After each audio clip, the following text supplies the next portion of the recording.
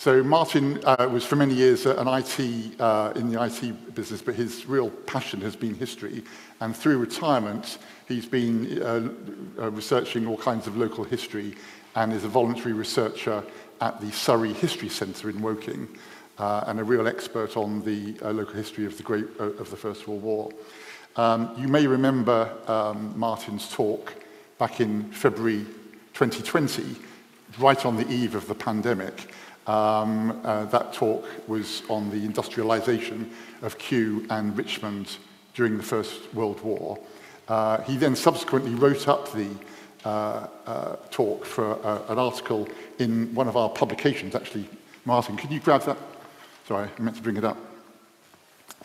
Uh, in, in, yeah, so uh, in this publication, which is the annual uh, Richmond History uh, Journal that uh, Robert edits, um, and Martin wrote an article on that talk for this, and this actually won the first of two uh, awards for the best local history journal uh, in London. Um, he also separately won award for the article in its own right for, uh, from the British Association for Local History. So really, really terrific. Uh, so we're delighted to have him tonight. Uh, his talk tonight is on a, a, a different topic, although the same kind of era, the sort of uh, early period of the 1900s.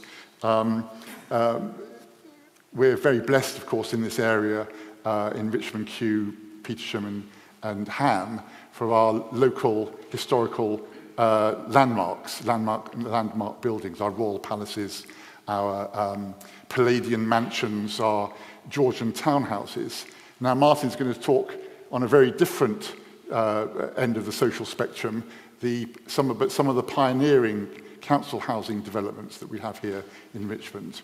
Um, as Robert was mentioning just at the end of the AGM, uh, we're going to have um, uh, um, some drinks at the end, and I know Martin will stay around for, for, some, uh, for some further conversation. And we're at the end of this talk, which will probably last about 45 minutes, we'll have uh, some questions, uh, which I'll, I'll, I'll moderate.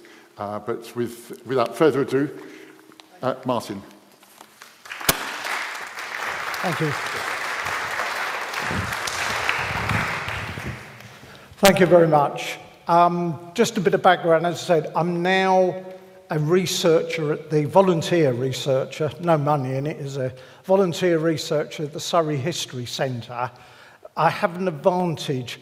I was already living in Woking, and the Surrey History Centre moved to 300 yards from where I live. So they moved to me. So they obviously knew, saw something in me even then.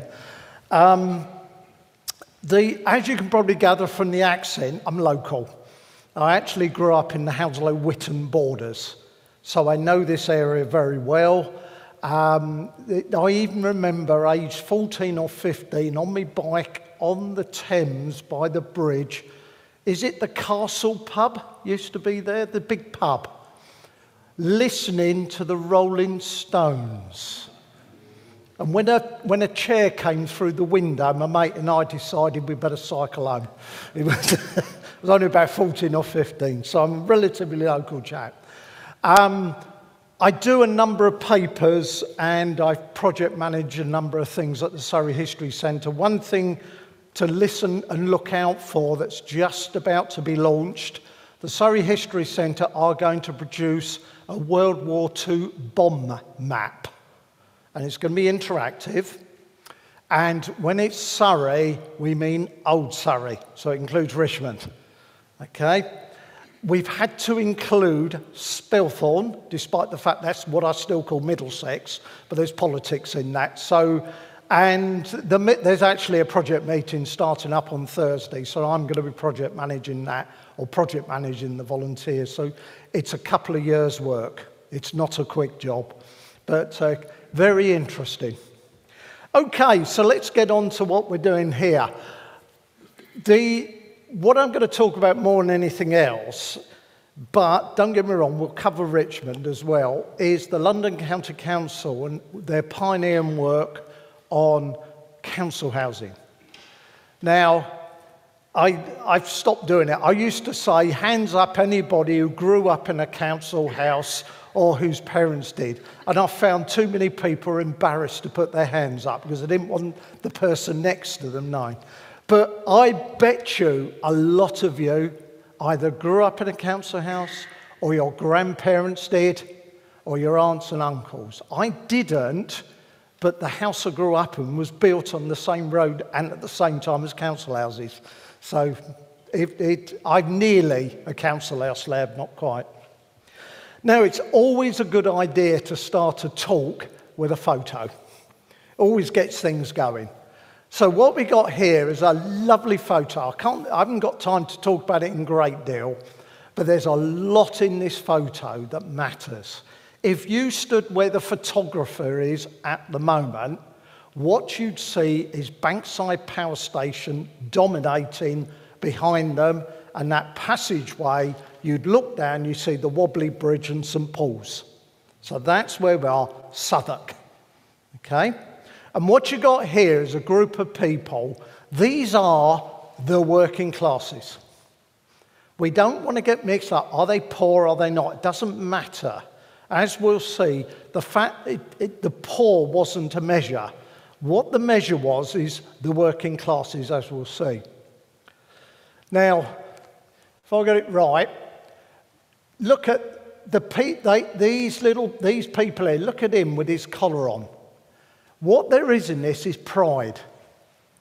The parents knew this photo was going to be taken, rushed the kids inside, dressed them up. They weren't having their kids in a photo looking scruffy. Didn't quite work with his shoes. you can see the toes sticking through, but you can't have everything else. The other thing, quite important, is where the men. Right? I can tell you where they are. One's there and one's there. As the police would say, looking furtive. Right? Now, this is quite important because what you got is a bunch of ladies that are very proud and don't want their kids looking scruffy because he's going a photo. You'll see how important this is in the early days of social housing. The other thing to spot, if you haven't spotted already, is well, it's not, whoop, hang on a minute, Big Mama. Right, there she is. You know who runs that. You know she's the one who said, Yes, you can take this photo, get your kids sorted. So, what we're talking about are these people. These people work six days a week, they're on the bread line, right? These are people who the government, London, the authorities needed to help. So, who's going to help them, right? You've got no social security, no pensions, right? No sick pay, no medical help, no work, sorry, no pay. Now, the, the, we're talking about 1800s, late 1800s. The problem is the government and the industrialists were worried about revolution. Just across the channel, too many revolutions. So they were worried both about their profits, always about money, and revolution. So they, maybe a bit reluctantly, wanted to help these people. Now, another term given to these people, which I don't actually quite like, is called the deserving poor. I would call them the deserving working classes, right? But the deserving bit is quite important at this point. So, what happened in the early stages is the philanthropist stepped in. So the people, and you'll recognize some of them. Top of the list, still going, by far the biggest is Peabody. Peabody were one of the very, very first philanthropist housing companies. Still going. They went in a bit of money trouble recently, but they're still going strong. Headquarters in Westminster Bridge Road. Very, very good company indeed. Then you've got a chap called Sidney Waterlow. He stopped building because it started to become unprofitable for him. He's, the, he's Waterlow Printers, well known printing company, and he was at one point the Mayor of London. Whoop, sorry. Octavia Hill. the high priestess of housing. We'll talk about her in a moment. Chap called James Hartnell, you would have never heard of him, but I'm going to show you some of his housing because it's very much along the same line. Now, philanthropists, I put the London County Council in there because their very early housing was philanthropic, as we'll see in a minute. Note the date, 1888. The County of London did not exist until 1888. The vast majority of what we, we came to call London was Middlesex. Below the Thames, it was Surrey, and there was a little bit of Essex over on the, the north, northeast. But I'm going to come to them in a minute. Then you've got Guinness. Guinness buildings, they're still going. Where I live in Woking, there's a Guinness estate. Um, very late to the market, but again, he's there. And you never guess where the East End Dwelling Company built their buildings. No prizes, right? Now, Octavia Hill, there she is. You may also know of Octavia Hill from somewhere else. She was one of the three founders of the National Trust. So people go, oh, I know that name. She was one of the three founders. I would say the best description of her is you don't mess with Octavia Hill. She's one of these Victorian ladies. She tells you to do something, you do it. Right, what she did in the late 1800s, she purchased run-down buildings. So she actually bought some terrible places, right? And, but this is great. She employed lady managers, housing managers, right? Do you remember that photo? What all the ladies are at home during the day. You've got a housing manager who's a lady. Suddenly it fits. They built up a relationship with the lady of the house, but rent had to be paid on time. This was absolute strict rule. Obviously, if the, the, the householder was ill or anything, there may have been a bit of leeway. But basically, you couldn't drink the rent, you had to pay it. Good tenants got small improvements done to the building, right? The best tenants got upgraded isn't this a good idea? No. Bad tenants, though, out.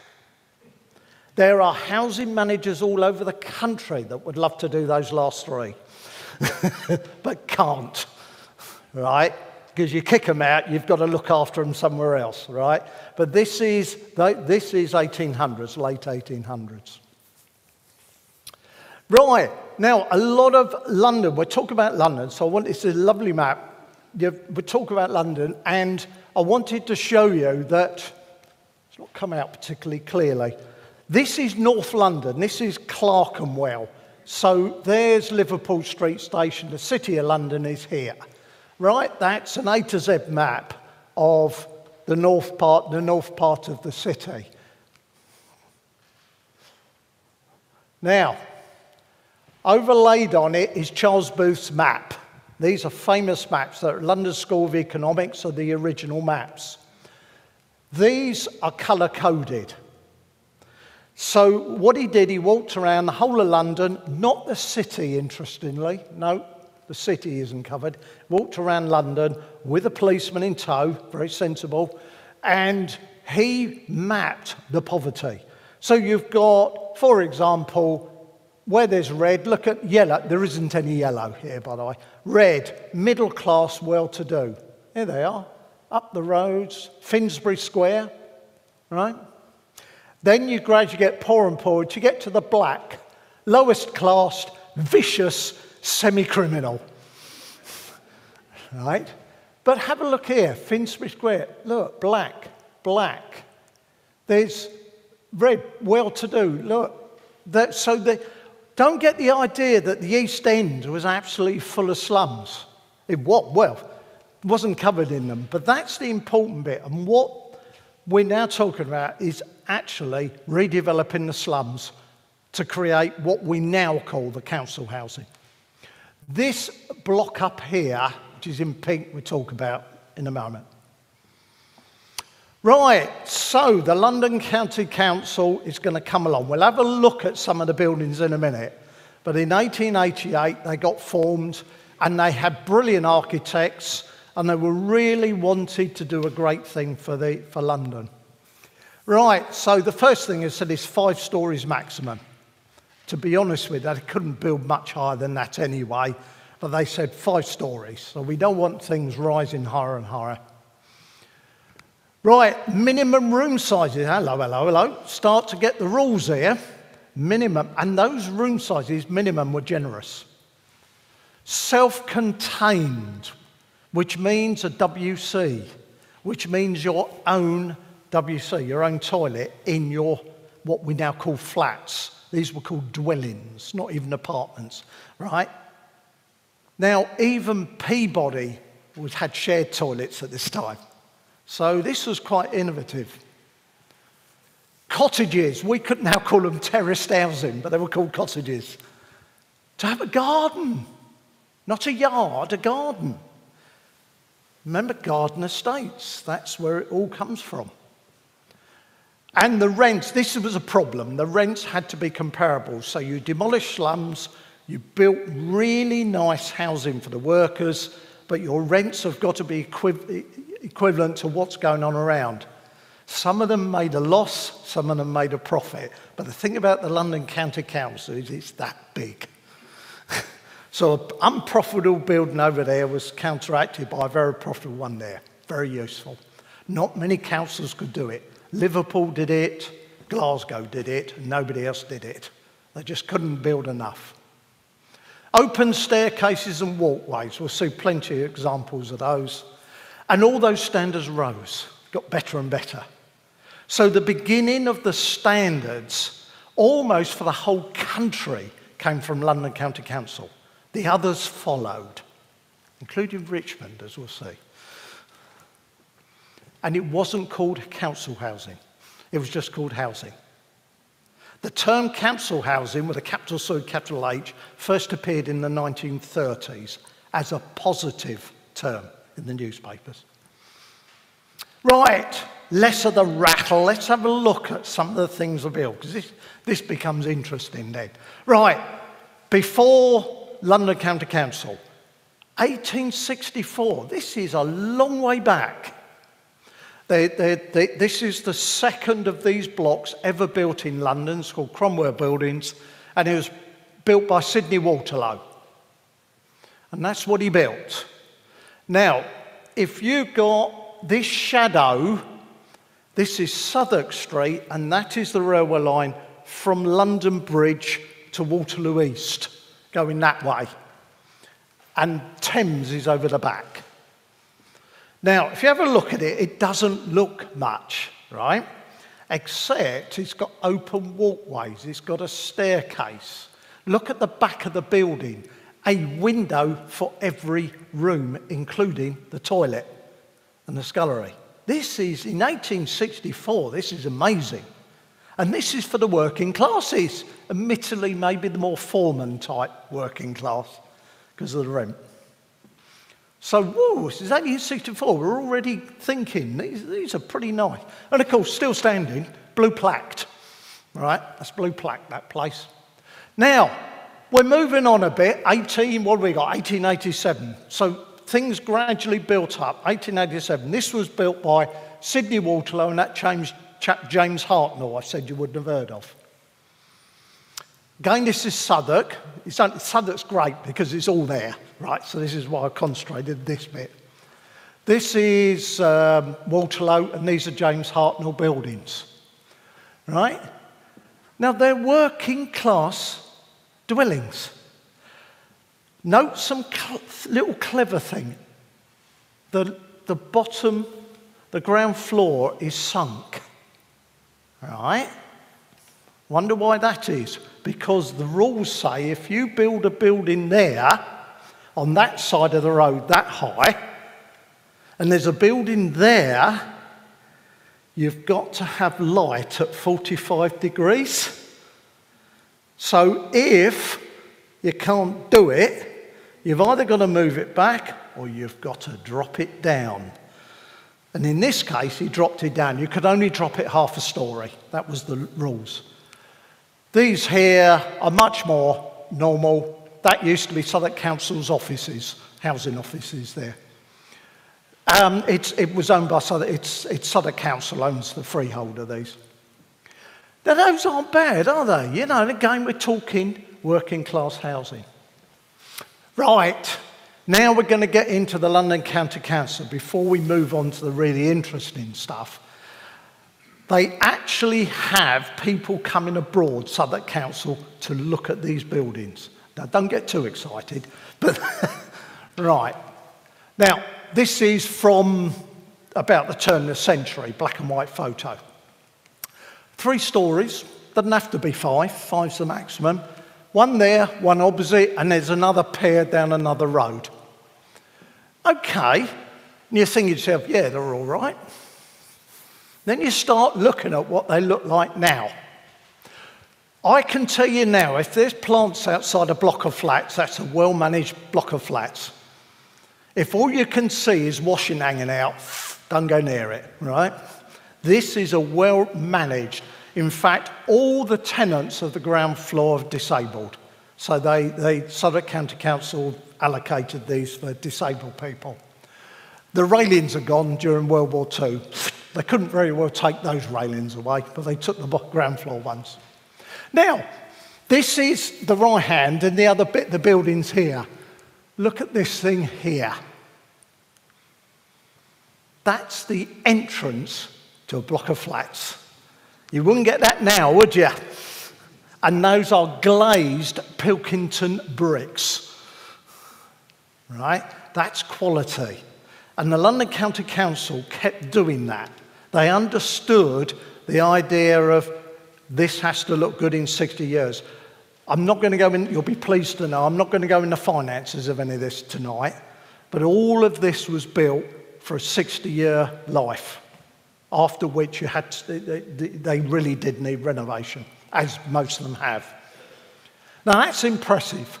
The other thing, a little thing to note, we're going to come to this Clarendon buildings.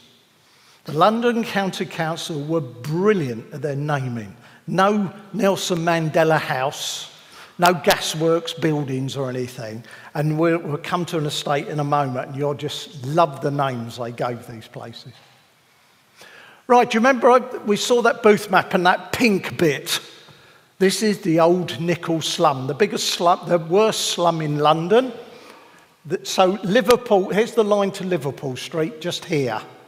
That's the old Shoreditch station. And this is what the London County Council purchased. Don't forget, they've got to buy the land. They can't just nick it. Somebody owns it. In fact, the ecclesiastical commissioners own most of this. And uh, the Prince of Wales and people like that. That's the land. So they had to purchase the freehold and they had to purchase the the buildings. The people living in it, they're only tenants, right? So you've got to be a bit careful because they've, they've got to get out. So what they did is they took this Old Nichol slum and they completely flattened it. And what they built in its place is the Boundary Street Estate, which has been on television a number of times. And what you see is wonderful. You've got a central garden with a bandstand on it, and roads radiating out. And you think, wow, isn't that great? I've got to tell you, I've seen the minutes, they couldn't fit the number of buildings in any other way. Because they were building a very similar state behind the Tate, now the Tate, and that one's just in ordinary. They were able to build that ordinary.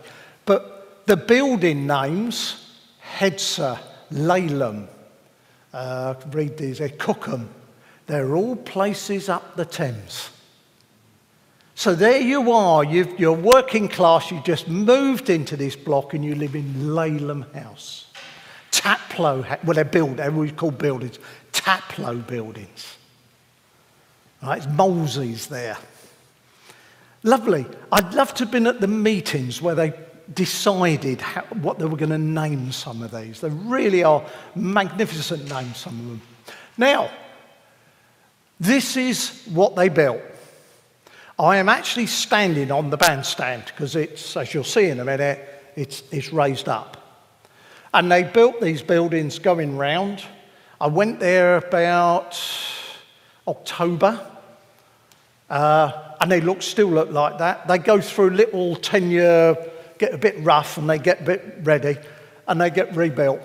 And what is even better is this is the main road leading, and that is the bandstand. And you think, so isn't that brilliant? But then, if you're the architect and you've just demolished a slum, what are you going to do with all the stuff? You're going to pile it up in the middle and call it a garden and put a bandstand on it. It's great, isn't it? It they've got no, none of this um, crossrail business of trains going out to Acton and all the way round to Essex. No. So they plonked it all in, they dug all the foundations, plonked it up, and they called it a garden. It is a garden, it's lovely. They have concerts on the bandstand in the evenings. This road here, leading from the, the main road, Shoreditch Road, is now got a lot of artisan shops, artisan bakeries, and things like that. Gentrification is coming. But very, very, the people love it there. There are three junior schools for the estate. Three. Right? Right, but of course, what the London County Council would dream of, they always dreamed of, were the garden estates. This was their aim to create garden estates. They wanted everybody to have a garden. Great, I love it.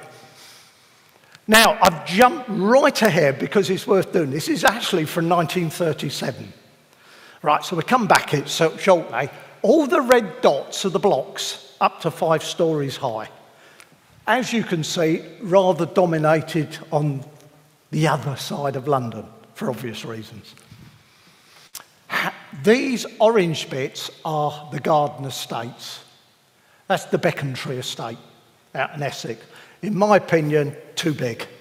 It wasn't a particular success. Until the Ford factory got built there, there was a problem with employment. I'm going to, here, you're here. I'm going to talk about these and that one. So i am going to talk about the garden estates the closest to here. So as you can see, and this is London, by the way, this red line is London. So a number of their garden estates are actually not in London. Because the London County Council, did, it, it wasn't, no, no, you've got to live here. You've got to be a member of here. What mattered was where can the people live? We want people that, the problem bit there is that the railway line in the, between the two was quite poor. But if you're going to build an estate, and the first one I'm going to talk about was built there, that the day that opened was the first day of the tram to Tooting. Right? Integrated transport. Wow. You know, they got it, they got the, the act together. So that's to leap ahead because I want to show you, to put it into context of what we're now going to look at. Right. And I'd love to say here's land, but actually Richmond got in first. Right? It was called the Richmond Experiment, and they built Manor Grove.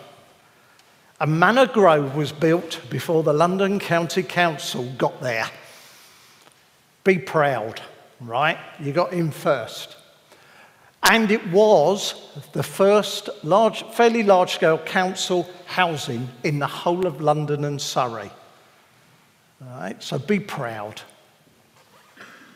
Right, 1892, the first ones were opened, as we'll see. Uh, the London County Council, the first estate was 1903. It's a good decade ahead. Oh, but okay, I'm not going to knock this, it's only for tenants, for people who lived in Richmond. Whereas the London County Council could afford to say, long as you pay the rent, who cares? Or, and the, Alderman, it's worth knowing, Alderman William Thompson was the big driver of it. And that's what they built. I'm sure you know the Manor Estate by, North, by the station, North Sheen Station. Absolutely very typical of that period. So it's not, it's nothing wrong with this, it's good stuff. Very terrace, though, as we'll see from some of the others, but you are first. This is 10 years before anybody else got in. One thing I will say, you can't see it, that, that cost, each dwelling cost £220 to build. Ouch! That is expensive. London County Council's a financial director would have had heart failure over that. But Richmond are paying for it for Richmond's people. Your choice. So, well, the ratepayer's choice. I'd also thought I'd better put that one in. I actually know somebody who used to live in that. I'm not too sure what the architect was sniffing when they designed that, but it doesn't look right. I, it looks like the back of Osterley, Osterley House with a great staircase going up to it, but something went a bit wrong. I, I, my friend is not here tonight, otherwise, I would have asked her what she thought of it because I know she used to live there. But that's also Alderman Thompson's, right, Bill. He, he, he planned that. So be proud, Richmond, be proud. You got there first. Right, but come back to London County Council. If you want scale, you need London County Council. And London County Council built housing to house 8,788. If you're wondering how on earth you get a number as accurate as that, number of rooms times two. Full stop. Not a bedroom, right? Number of rooms times two. Sorry, num- got it wrong. Number of bedrooms times two. And to, a person is nine years or over. It's that easy. So it's a very rough calculation. But what it did mean is you controlled overcrowding. That was quite important to the London County Council. Right, what they did is they purchased on the open market a section of land near Tooting. So this is Tooting Broadway down, that's Tooting Bec and Tooting, the Broadway down there. And the tram was planned to come down there. Is it St George's, the famous hospital in Tooting? St George's, isn't it? That's that. Or rebuilt now. Okay, so they bought that and they built their first estate. And I bet that wasn't quite what you were expecting. Because when people think of garden estates, they think of gardens with houses built on it. No, houses with gardens right? But don't, get, don't, don't worry because that's what it looks like. That is impressive, even to me now. Look at the styles they got there. This is very wide roads, trees. Right, now being the London County Council, they try and get some good people to open it. In this photo are three future kings of England on the opening day. Right. The little sailor's the future George VI, the big sailor's the future Edward VIII, and one of these hats here is the future uh, George V, the Prince of Wales. So that's Princess Mary. He's he look, this looks like the George V, but there's no way he's going to be back there with people in front of him. He's going to be in the head of that. So he's one of these hats here. And they're opening, they're visiting the house. If I go back a bit, you can see all the people hanging out here.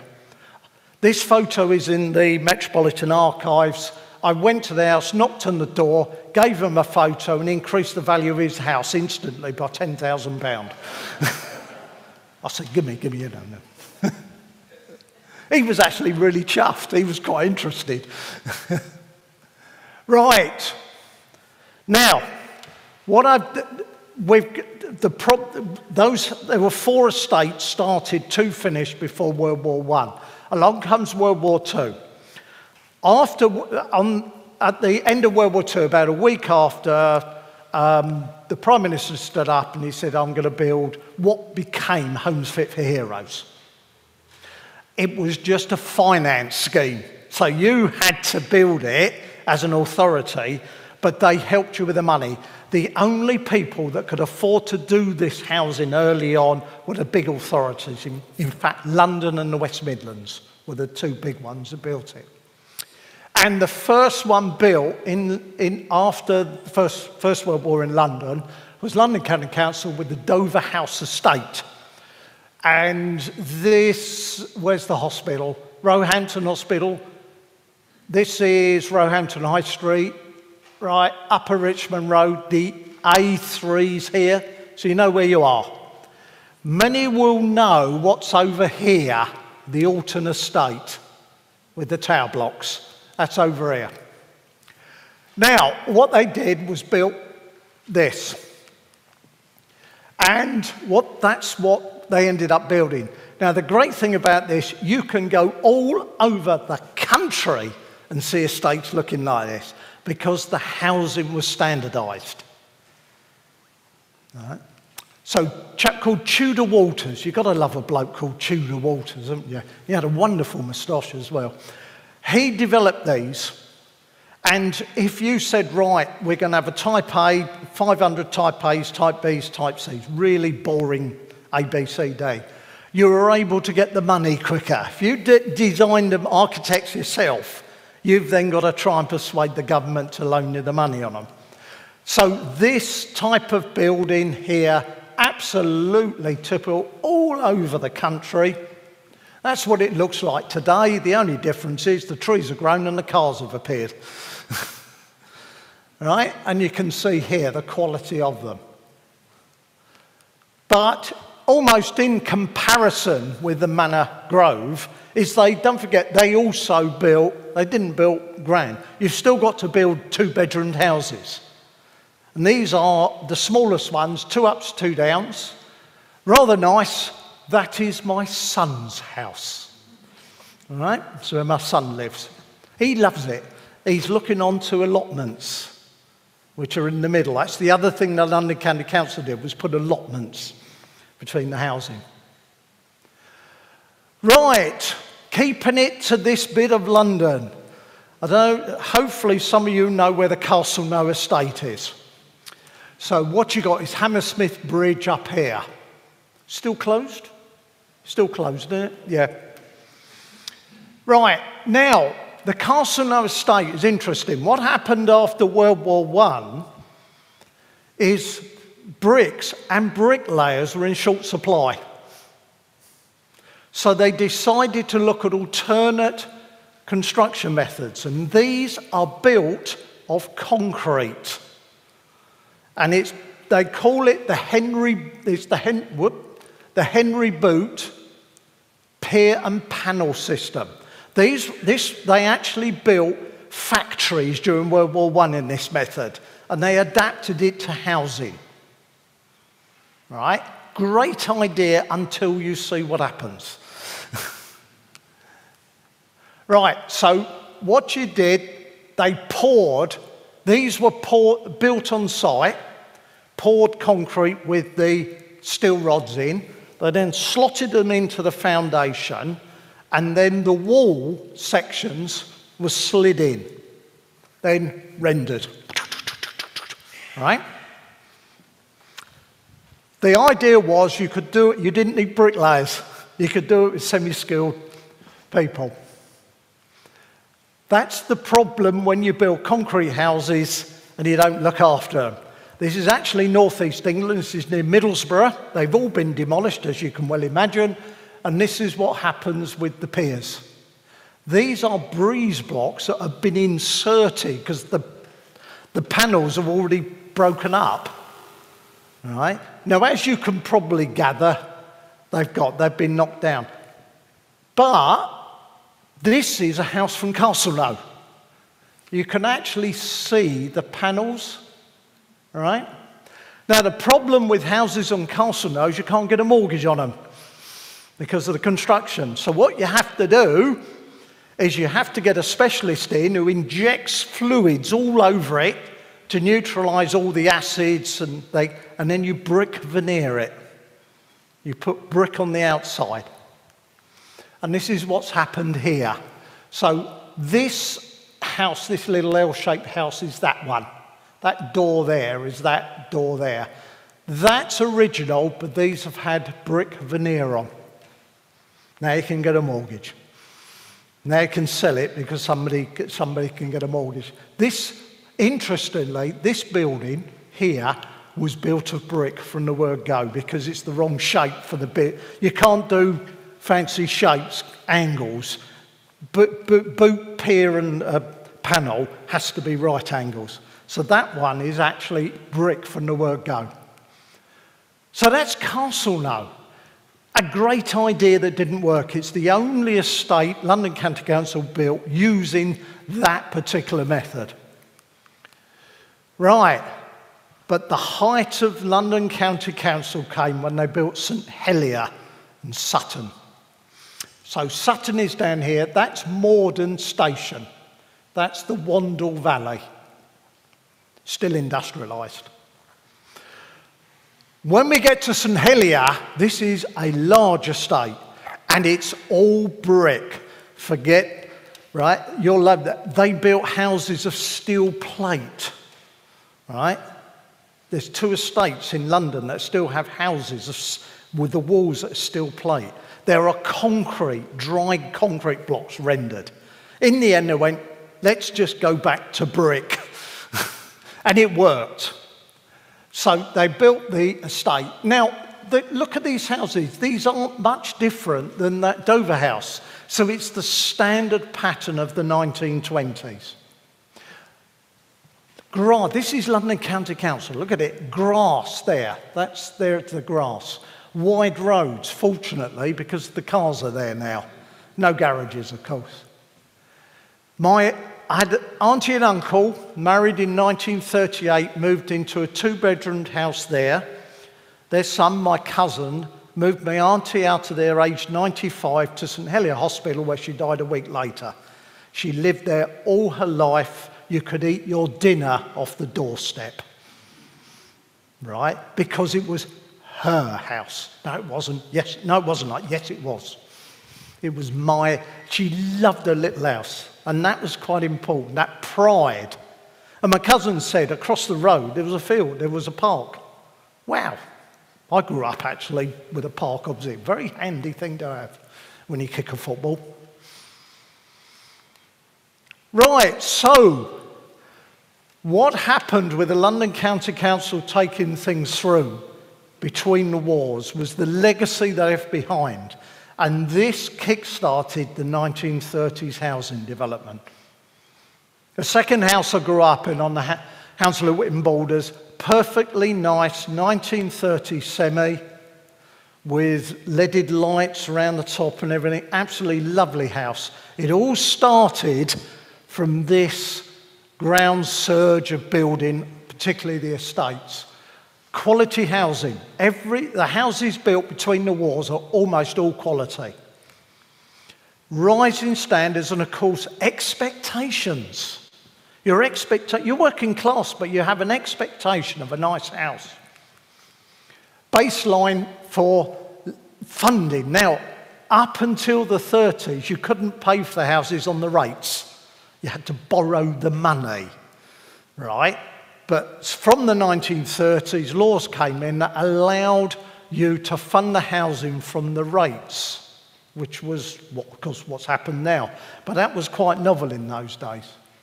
And of course, they built garden estates. Don't forget, London County Council was still building blocks where they were needed, but their big thing was garden estates.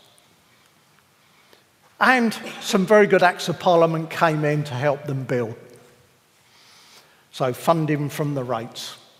And that's important. Council housing, positive. Those who grew up there, or your, grand, your parents did, or whatever, they weren't ashamed of living in council houses. It was a house, it was nice. My auntie, it was her house. No, no, it wasn't. Yes, it is. It's my house.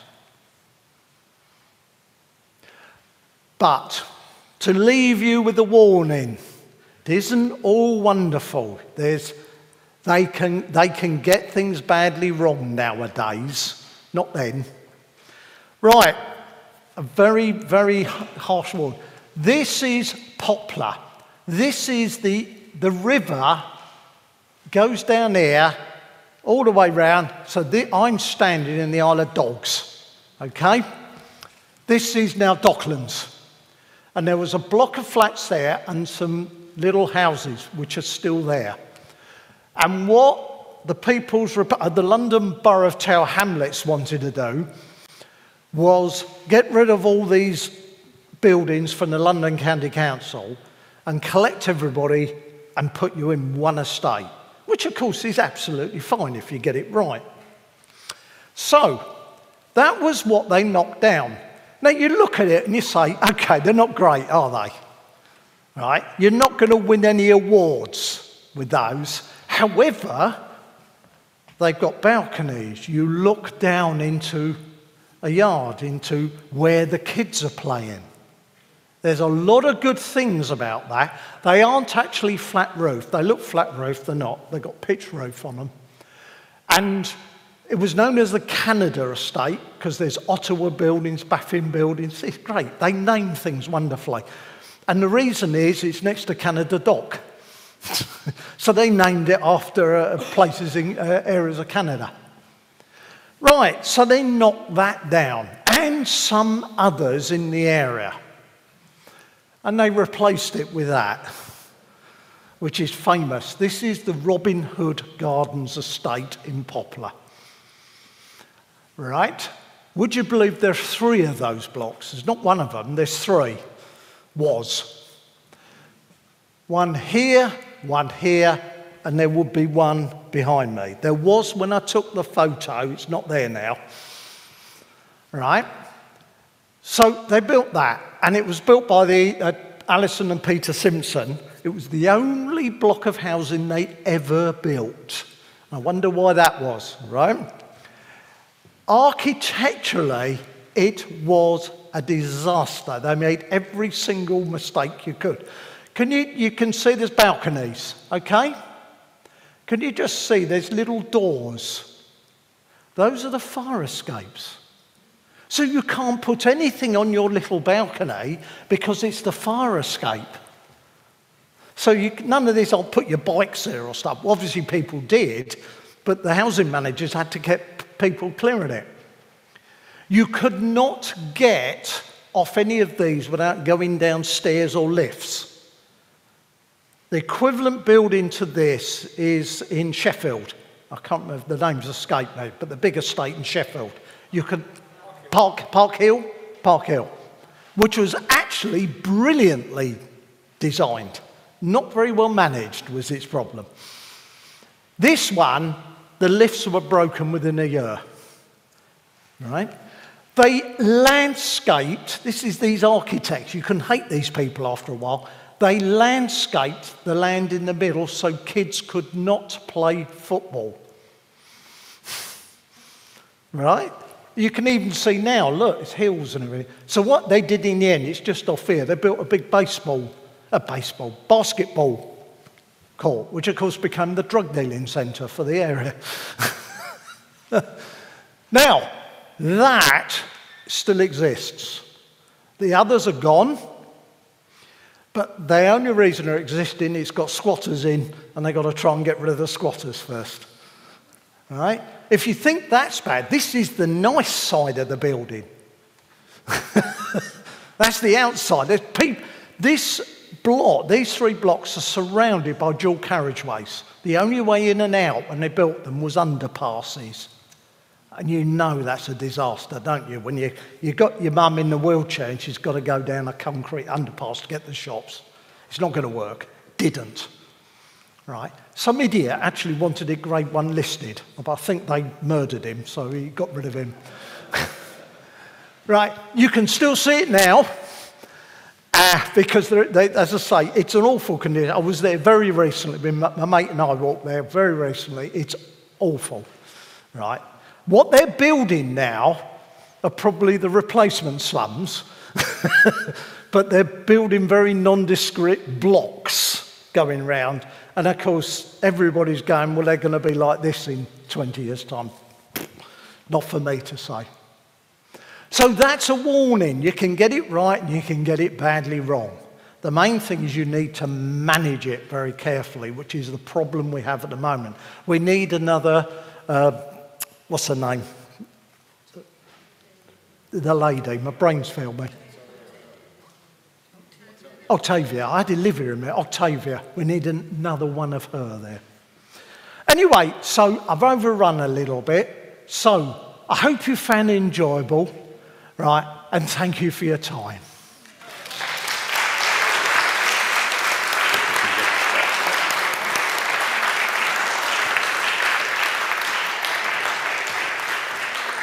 That's, that's really marvellous, uh, Martin.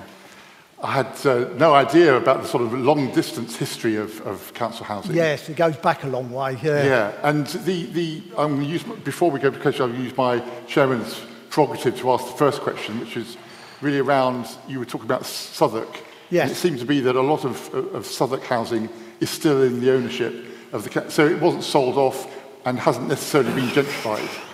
The buildings haven't been sold off, but the right, uh, right to buy.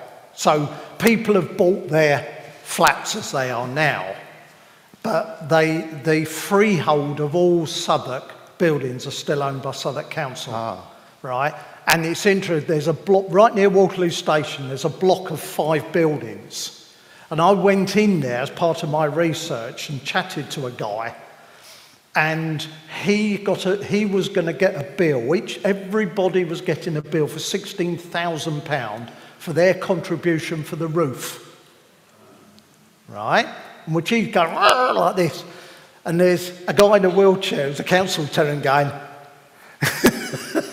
"Not my problem." So yeah. do, but does that prevent then people from investing in their own houses if they don't own the, the freehold? No, to be fair, if you've bought, you can still sell it on. Don't forget, it's Right. just that timing, the bad luck that they had to have a roof.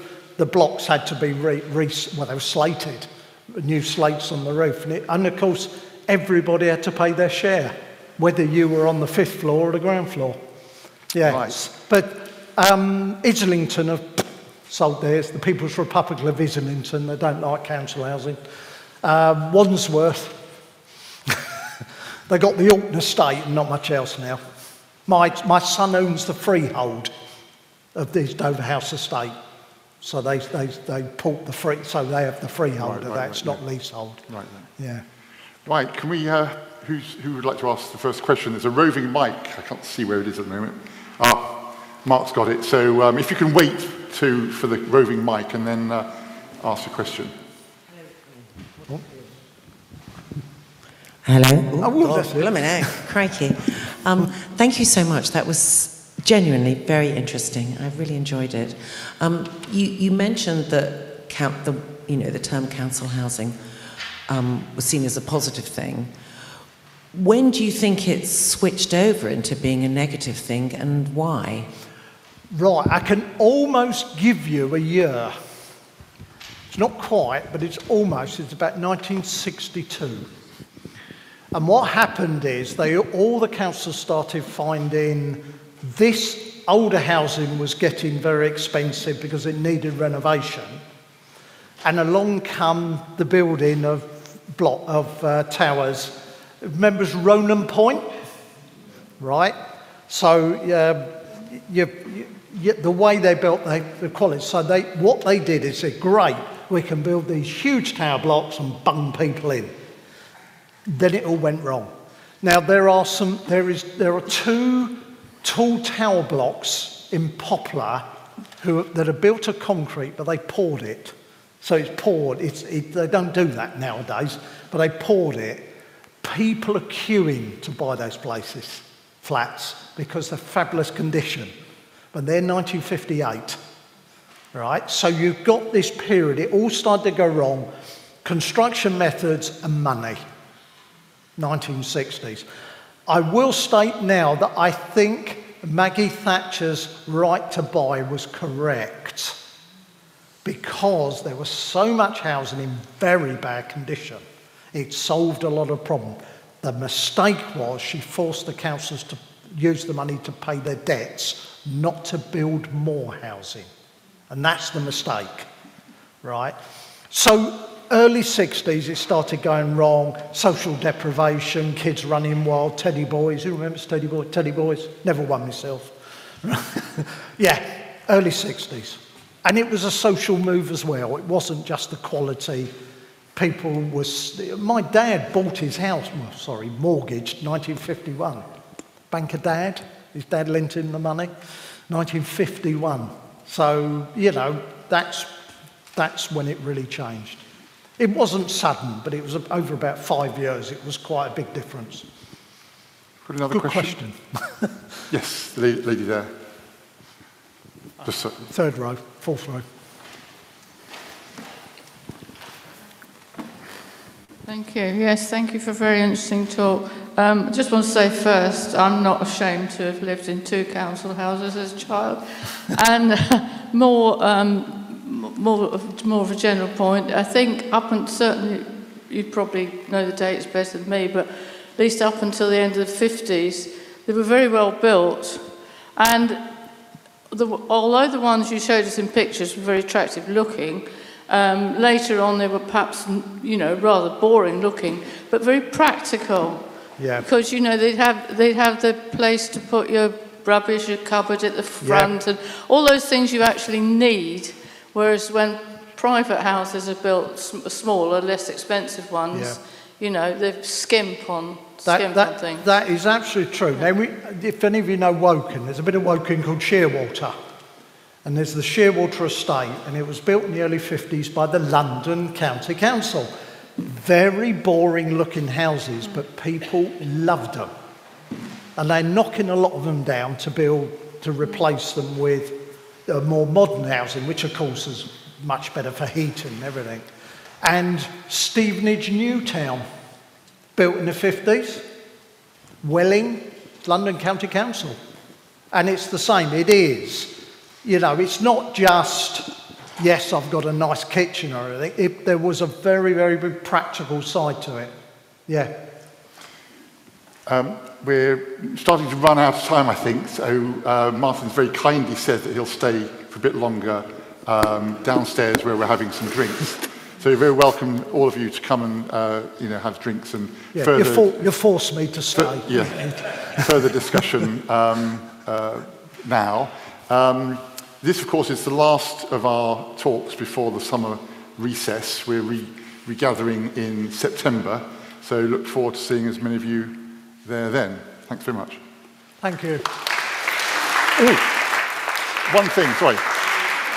The most important thing, as a token of our appreciation, thank you very much, Oh, Ross. That's, that's Thank great. You. Thanks very much.